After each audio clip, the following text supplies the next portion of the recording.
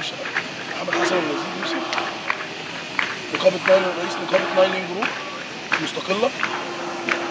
يعني احكي لكم دلوقتي حكاية بسيطة قوي عن أزمة بيننا وبين رجل أعمال. كان المفروض إن هو ابتدى يمهد معانا الأمور ويعتبر النقابة دي جزء لا يتجزأ من الشركة. فوجئنا إن هو بدأ يسيب نفسه للمحامين وللإدارة اللي حواليه لدرجة إن هم فهموه إن في ابتزاز مننا إحنا كعمال أو كنقابة أو تحريض وإحنا يعلم الله إن إحنا بلا بنحرض ولا ابتزاز. إحنا ربنا يعلم إحنا مخلصين للعمال ومخلصين للشركة وعاوزين الاتنين يمشوا في طريق واحد. ده ياخد حقه وده ياخد واجباته. إحنا مؤمنين بكلمة بم... بفكرة حقوق وواجبات. مؤمنين جدا. القصة هيحكيها لكم. الزميل عبد العزيز سليمان عضو مجلس إدارة نقابة نايل جروب المستقلة السلام عليكم عبد العزيز سليمان عضو مجلس إدارة نقابه نايل لينين جروب بالمنطقة الحرة بالإسكندرية.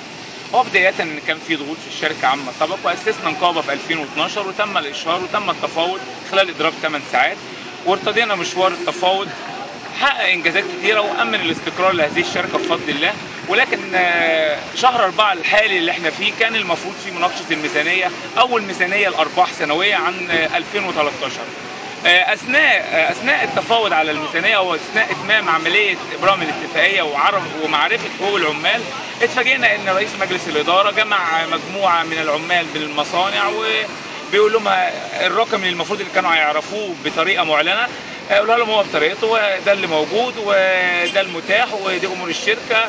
وكان في آه، للأسف آه، عبارة عن قصة بسيطة هو وزعها على الجميع آه، اللي لفت انتباه الجميع وأثار آه، غضب العمال إنه في جزئية مخصصة آه، لرئيس الوزراء آه، ورئيس آه، ووزير الداخلية بيطالب إنه يتم آن الأوان لبتر هذه القلة التي تثير المشاكل في الشركات وهو كل لبيب للشرع يفهم طبعا هو بيتكلم عن النقابات المستقلة أو المطالبين بحقوق العمال.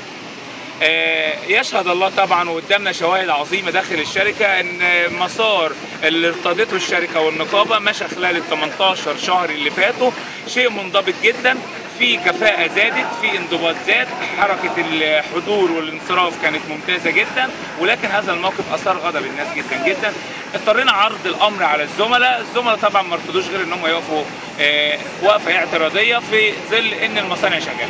إحنا من أول امبارح بالضبط يوم يوم 13 4 2014 آه، بعد إعلان هذا الموقف للجميع كان قرار العمال إن إحنا هنقف وقفه اعتراضية. المصانع شغالة بظروف بتنظيم آه، وردية التي تعمل تعمل وردية اعتصام وردية راحة في البيت للحفاظ على المستوى وعدم إجهاد العاملين ولازلنا نطالب السيد رئيس مجلس الإدارة طلب اخه من من أولاده واخوانه داخل الشركة. آه، باشمهندس سعيد يا ريت ما يلتفتش لإدارة فشلت في 2012 إنها تحل مشاكل العمال. آه، لمحامي أبسط ما أقول عليه إن هو يسعى لل- للارتزاق من خلف مشاكل العمالية.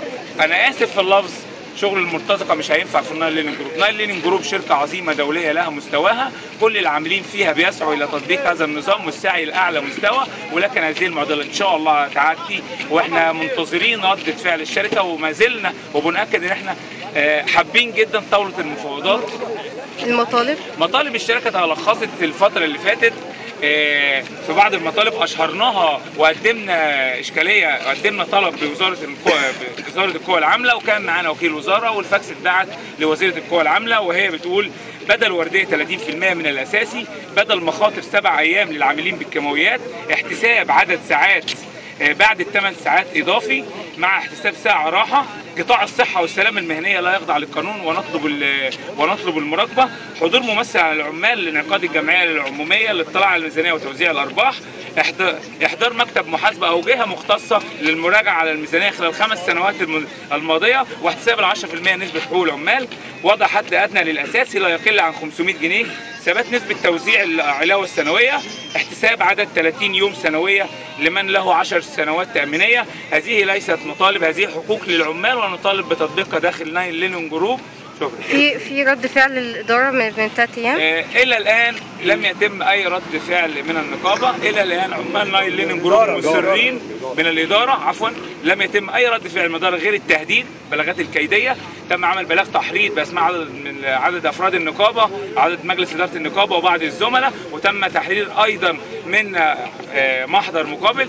آه، اخترنا الأمن العام اخترنا وزارة آه، القوى العاملة اخترنا وزارة الداخلية عن طريق اتحاد عمال مصر الديمقراطي آه، اخترنا الاتحاد الدولي للصناعات ونحن شركاء معه في عمل نقابي جيد خلال ال 18 شهر الماضيه ميرسي جدا.